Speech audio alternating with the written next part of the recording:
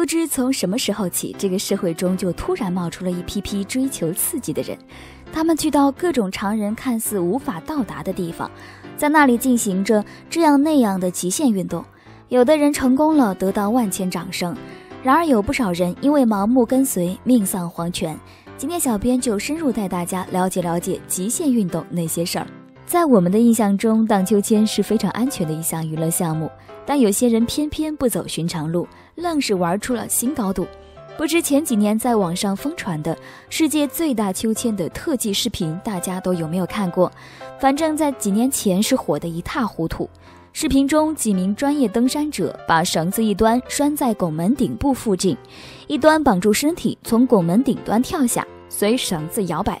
因此，不少喜爱极限运动的人争相跟风，模仿起了视频里的人。来自美国的一个小伙子就因此付出了惨重的代价。这位来自犹他州的二十二岁男子看到这个视频后，不禁心痒难耐。于是他去到了摩阿布市附近知名的景点克罗纳拱门处，对视频内容进行模仿。但不幸的是，这位小伙子错误地估算了拱门到地面所需绳子的长度，导致绳子过长。